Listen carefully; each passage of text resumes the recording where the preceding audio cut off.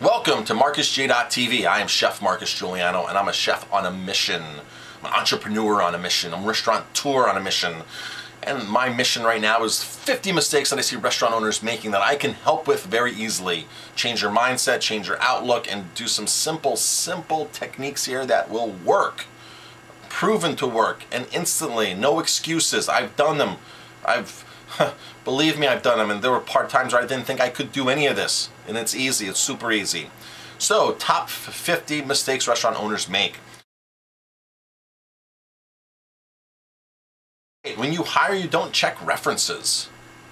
Really? A lot of you still don't check references. I see my ex-employees working at other places. I never got a phone call for a reference check. I talked to other restaurateurs. I don't have time for that.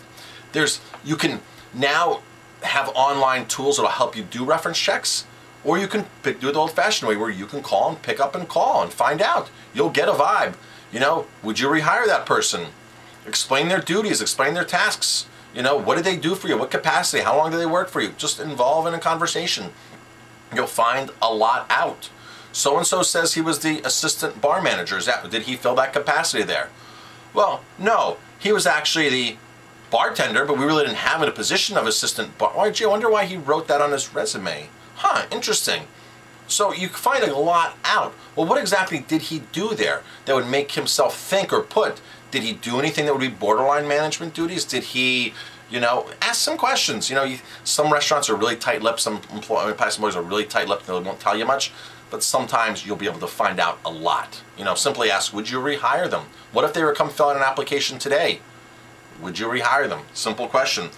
I'm Chef Marcus Guiliano. I'm a chef on a mission. Thank you for watching. I'm running my restaurant Aroma Thyme for 10 years in the Hudson Valley. And I used to be one of those restaurant owners that was married to my business, couldn't leave. The restaurant wouldn't be open if I wasn't here. I didn't trust anybody. I turned everything around. Been here 10 full years, like I've said. I've defeated all the odds.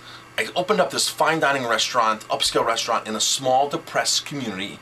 Um, I've learned a lot. I've made a lot of mistakes, and that's how I can confidently say, I can help you. I can switch that mindset. I can teach you uh, tips and techniques that I've learned by doing it myself and then masterminding with some of the top restaurateurs in the country and marketing geniuses. It's been a great 10 year run. I don't regret a single part of it. Now the thing is, I work on my business. I don't work my business, which is a totally different thing. I can teach you how to do that. It's so simple with the tips and tools and techniques. Um, owning a restaurant can be a lot of fun and I want to show you how to have fun in your restaurant. So please send me an email